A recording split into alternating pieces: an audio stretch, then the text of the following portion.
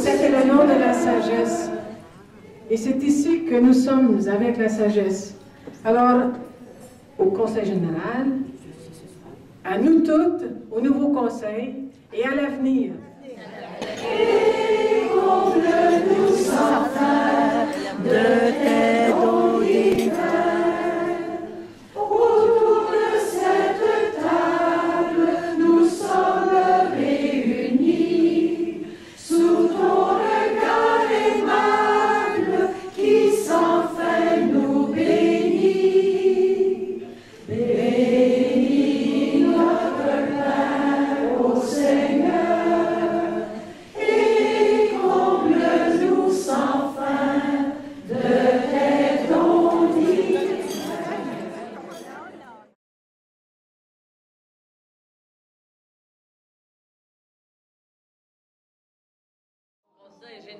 Parce qu'il nous reste à peine deux ans. Et en la suite, euh, d'autres prendront le relais. Je pense que moi, j'aurais fait 18 ans, ça sera suffisant. Et sœur euh, Jacqueline aura fait euh, 12 ans aussi. Alors, donc, je laisse le mot à Jacqueline pour commencer et je Comme vous termine. le savez, c'est pas une surprise d'avoir pendant mes 12 années en plus la délégation pour euh, le Canada. Je crois que c'était comme un cadeau qu'on m'a fait. Je l'ai pris. Et puis j'en suis bien récompensée. Je suis contente d'avoir sûr qu'en venant au Canada, qui était un rêve de mes jeunes années, parce que j'avais connu beaucoup de Canadiennes, comme vous le savez, qui m'ont permis de poursuivre ma route dans la joie de la sagesse. Je vous remercie de tout ce que vous m'avez donné par ce que vous êtes. Je continuerai à penser à vous. Je pense que moi, je vais terminer ma vie à Saint-Laurent, là-bas, bien gentiment. Une étape importante dans ma jeunesse et puis aussi dans ma maturité, là, qui commence, qui commence à devenir la vieillesse. Merci beaucoup à toutes. Parle-nous de ta jeunesse.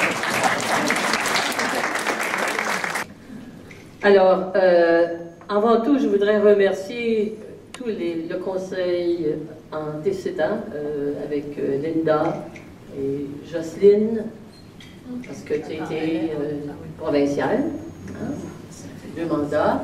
Et avant toi, il y a eu Anisette, pendant que j'étais sur le conseil général. Comme ça fait 15 ans, euh, j'en ai passé plusieurs. hein.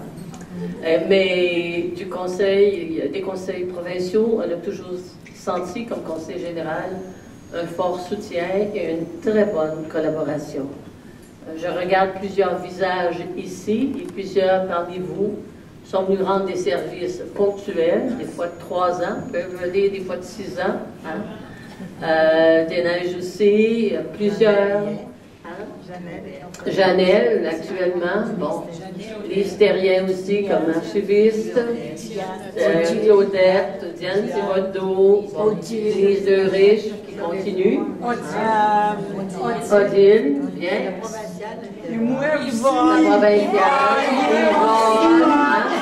Non, sans, sans compter, sans compter celles qui n'étaient pas à la CASA, mais que par le site web ont continué à nous soutenir. Euh, hein, Madeleine, Lucille, Lise et puis euh, Louiselle.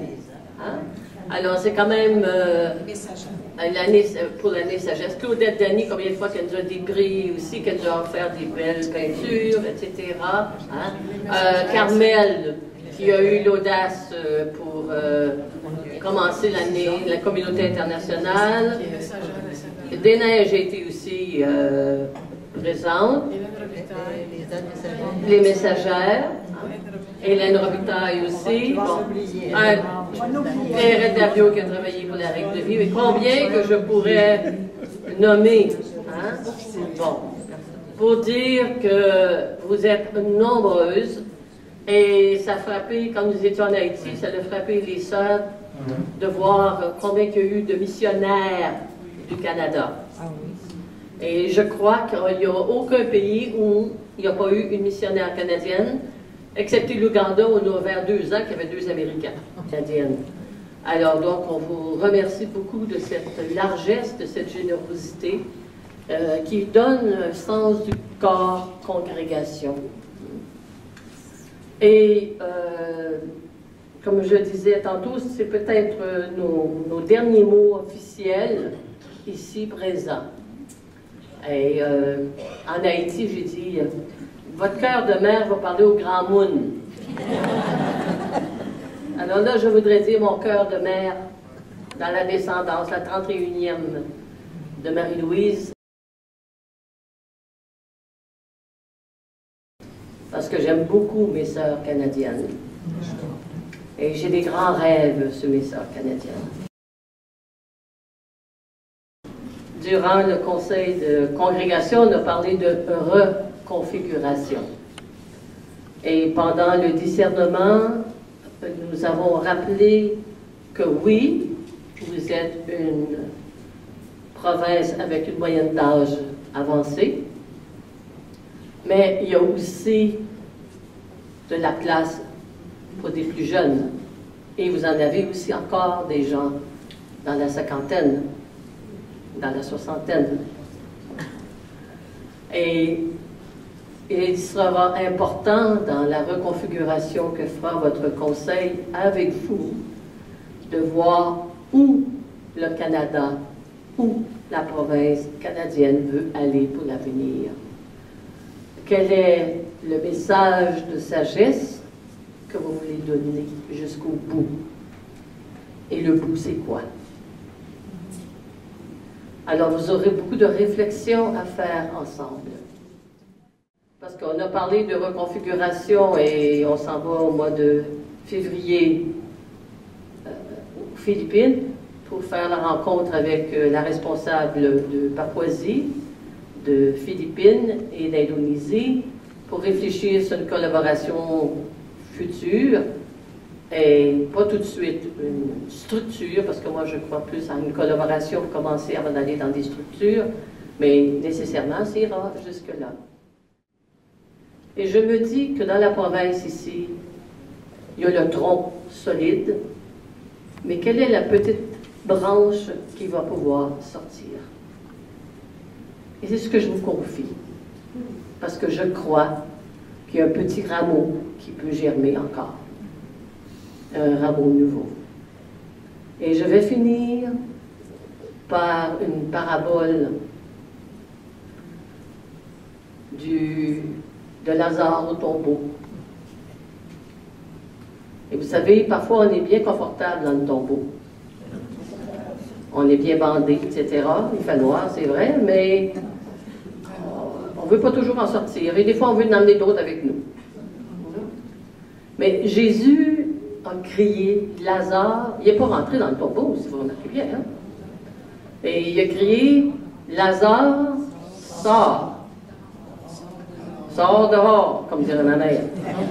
Sors dehors. Et Lazare a sorti. Mais Lazare a resté, lié.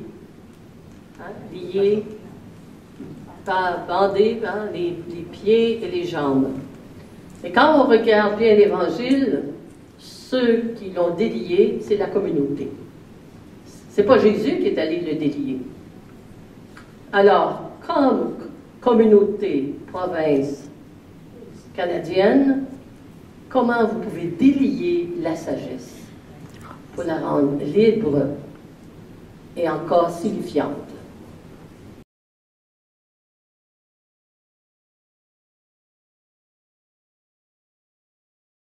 Ça rentre, je pense, dans le chemin du carême qu'on va commencer demain.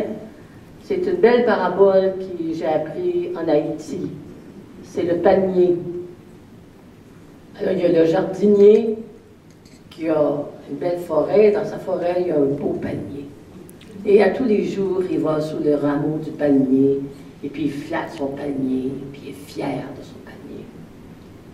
Et un jour, il vient voir le panier, puis il dit, j'ai besoin de toi. Et le panier dit, tu as besoin de moi, je suis là avec mes rameaux, tu viens chaque jour. Oui, mais il dit, j'ai besoin de toi en te coupant. Elle dit, tu penses pas, c'est moi qui te chéris le plus. Oui, c'est pour ça. J'ai besoin de toi. Bon, non, non, si tu peux, je sais bien que de mes, mes noyaux, mes cœurs, il peut sortir des, germes, mais il dit, j'ai besoin de te couper. Mais dit, alors coupe-moi. Mais il dit, j'ai pas seulement besoin de te couper, mais il dit, il faut que j'enlève tes, tes rameaux. Mais il dit, tu passes pas mes belles branches. Dit, ben, il faut que j'enlève aussi tes rameaux. Alors, il le coupe, il enlève les rameaux, et voilà qui fend le palmier en deux. Et qu'est-ce qu'il fait? Il prend le palmier coupé en deux, il rejoint les deux bouts, il descend près de la rivière, il rentre un bout palmier, du tronc, et l'autre va rejoindre le jardin. Et grâce au palmier qui s'est donné entièrement, il a pu fégonter le jardin pour porter fruit. Qu'est-ce que nous sommes prêts à donner pour féconder le jardin? Merci beaucoup.